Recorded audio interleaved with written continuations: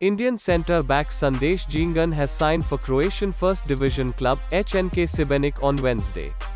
Indian Super League side ATK Mohun Bagan, which signed Sandesh in 2020 and named him one of the club captains, confirmed his departure yesterday.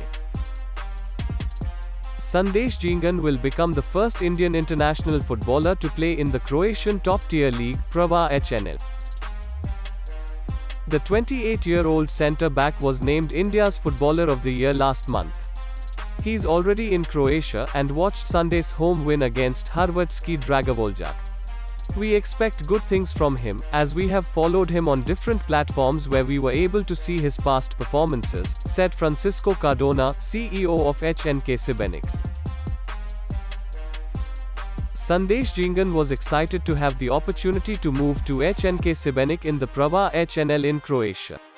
Here's what he said I think I am at a stage of my career where I really want to test myself in the highest level possible, and I think this is the perfect platform for me. As I have said, it has been my desire to play in Europe and I have taken up this challenge upon myself. His new club Šibenik is yet to win the Croatian top division league title. Their best finish was registered in the 2009-10 season when they finished fourth.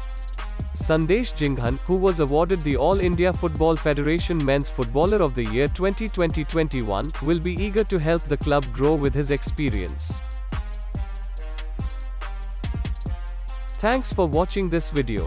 Please hit the like button and subscribe the channel for daily football updates.